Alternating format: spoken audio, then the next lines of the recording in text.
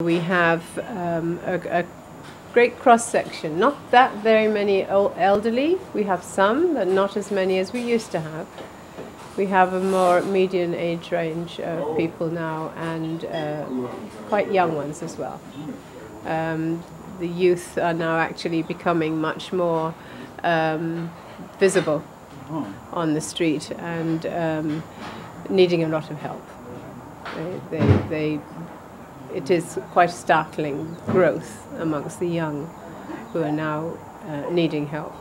So we can't embrace them all, but we do take as many of the young ones as we can.